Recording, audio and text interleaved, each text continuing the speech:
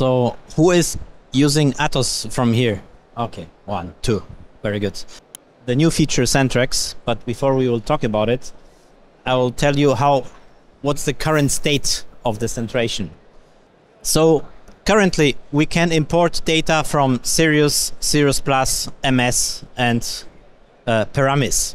So based on this data, this data are exported on the stick into the laser, and then we are getting a sign where to center the treatment. So then first we need to adjust the eye with the joystick with the bed. We touch the PI and then we gently ask the patient to move to look to the left, to the right, up and down. Once when we find the perfect position, actually when this cross is here right in the in this in the center, another cross appears, then we are in the optimum. But all of us we know that we have some astigmatic eyes or some differently or specially or individual built eyes. When you apply vacuum, the eye moves or slips down and we are losing the perfect centration. So what we do in such a case or what I do in such a case, if it's just a little bit, then I let it go and we continue because we know if it's less than 0.3 millimeters, still it's almost without any side effects. But if it's more, we need to basically, again, redock. And then when we redock, so basically you need to probably to go to the other side, to the opposite side where you center in order that we slip right on the center if we are lucky. So this was the first generation. It was like a semi-automated guided centration. So now we are having or we're gonna have a new feature where we just need to center somewhere around where we want to center, and then the software will, out, will get our the perfect centration. So again, this is what I said. Uh, on the I, mean, I, would, I didn't talk about the SCC angle, SCC control, because this uh, happens fully automated. If it's if the eye is not recognized, so currently we are getting the SCC of zero degrees. So if you have a small astigmatism, basically you can let it go. If you, we know if it's below 1.5 diopters of astigmatism, there is not such a big impact. But if, if you have if you treat astigmatism of three, four, or five diopters, I would basically abort and redock again in order to get best cyclotorsion side compensation.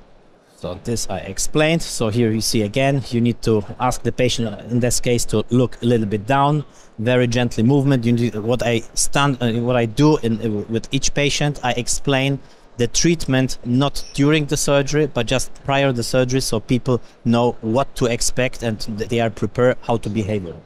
So this is the perfect centration. In that case we apply vacuum and here uh, everything can slip down. So what happens with Centrax? So for an optimum in centration and cycle rotation compensation uh, we should position the vertex perfectly. So over here you see the error and what actually happens with the software.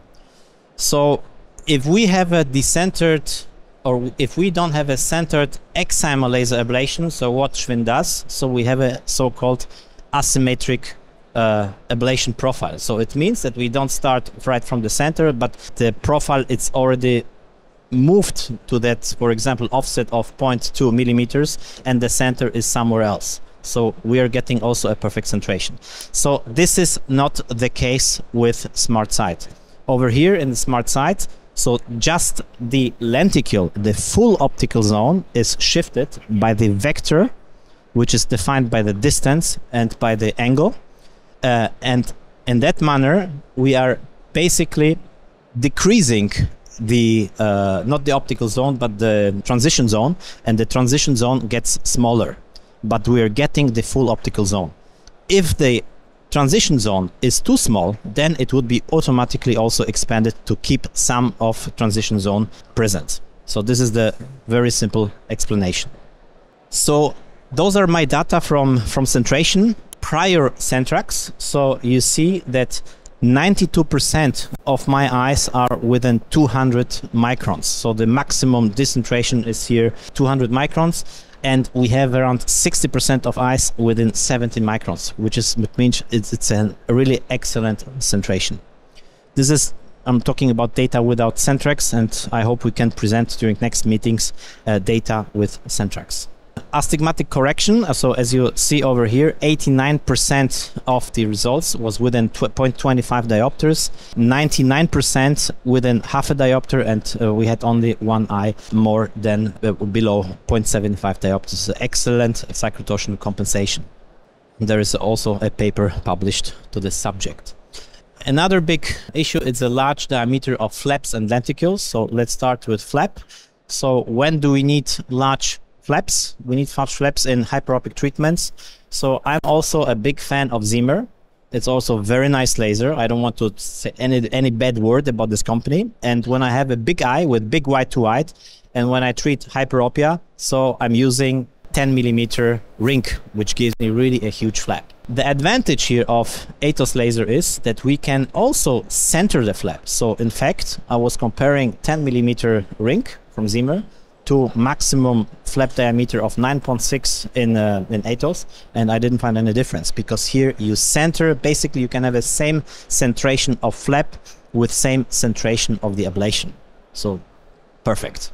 My standard cap diameter currently is 9 millimeters. Why do I choose that? Because if we want to retreat, in that case we can use edge cut only, so basically just getting a perfect flap out of it. So here we're just using the old cap, decreasing it by 0.2 millimeters, and we're getting also a perfect flap in order if we need a retreatment.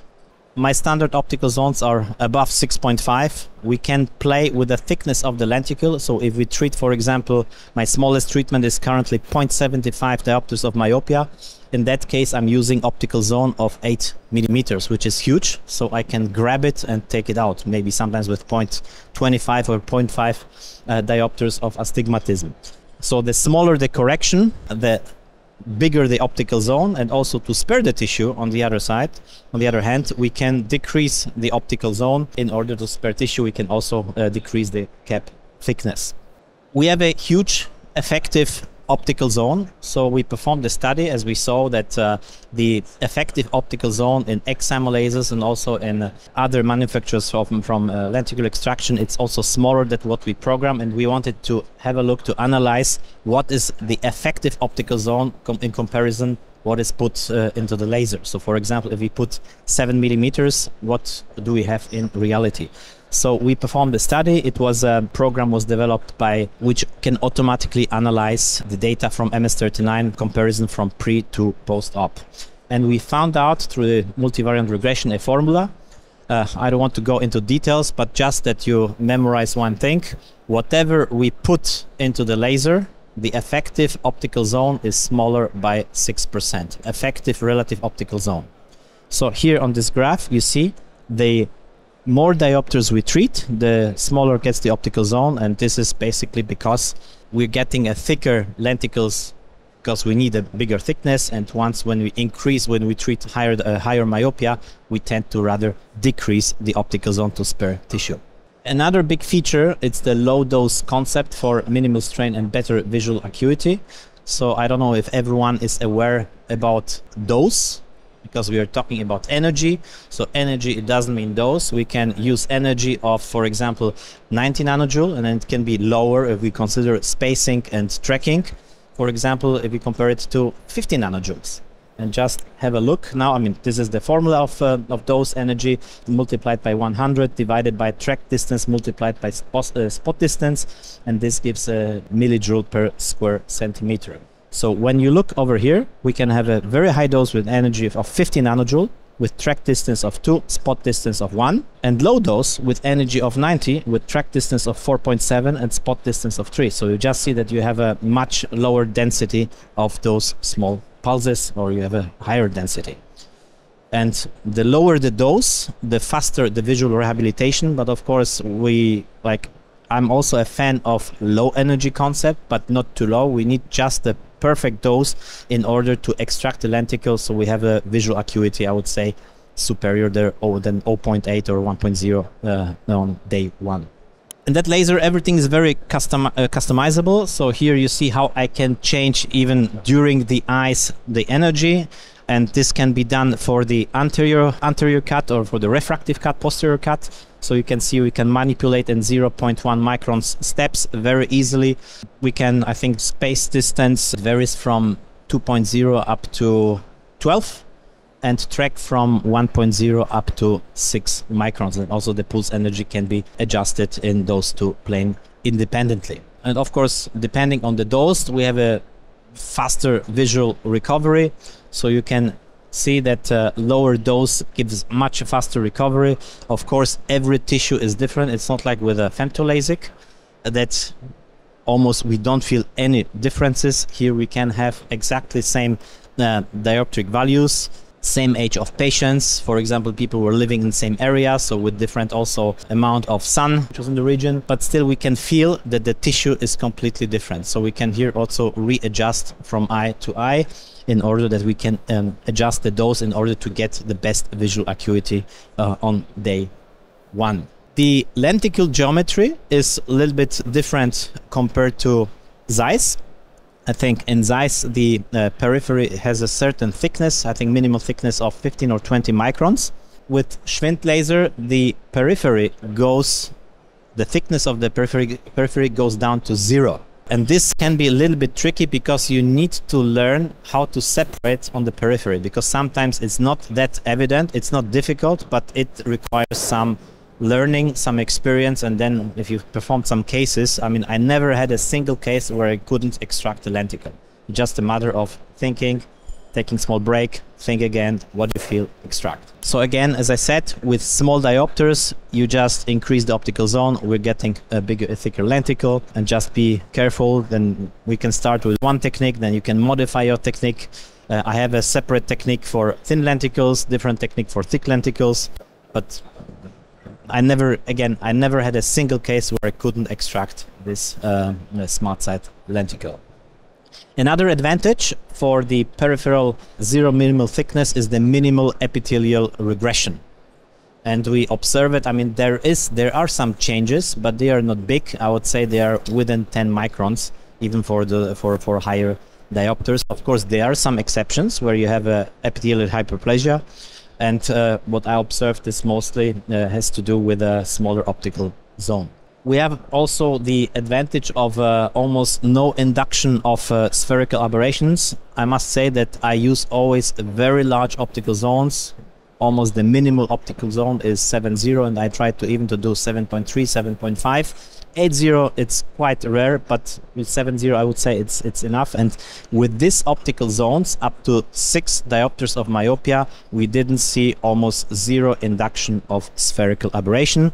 Big advantage less visual symptoms at night for patients it's just excellent. Last feature a PI I. Must say it was not like that from the very beginning. We had some issues with the PI the PI recognition four, four years ago was a little bit poor.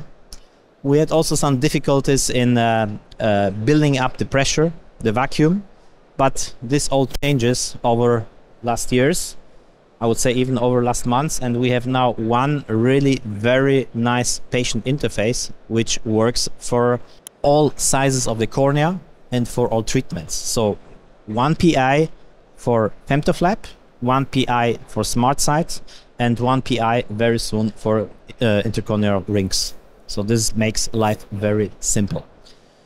So it's a curved patient interface, uh, reduced IOP increase due to low vacuum level, easy PI connection, just click and go. If you get it recognized first time, if not, you just need to take it out and uh, introduce it again. You see an integrated vacuum tubing, and again, what I said, one size fits all eyes, PI concept, reducing the complexity of handling, logistics, and storage. That's it. If you have any questions, I'm more than happy to answer all of them. I would keep the same standard what we have now without this active tracking because this guarantees you best possible results that you're within it don't even same thing on Amaris when you see that you know the eye is almost at the end of the hot zone so you would basically grab your hands and get it right to the center to get the perfect centration of the ablation. So over here, I think it's the same rule. The more precise, you know, we should consider CenTrax just as a, I would say, insurance that we get really the best the possible result out of it.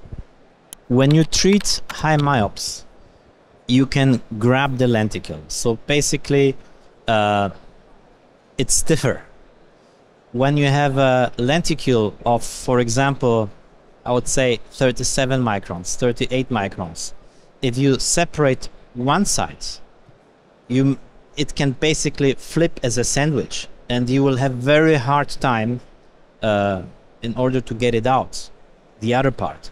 So what I'm doing, if you have a circle, wait,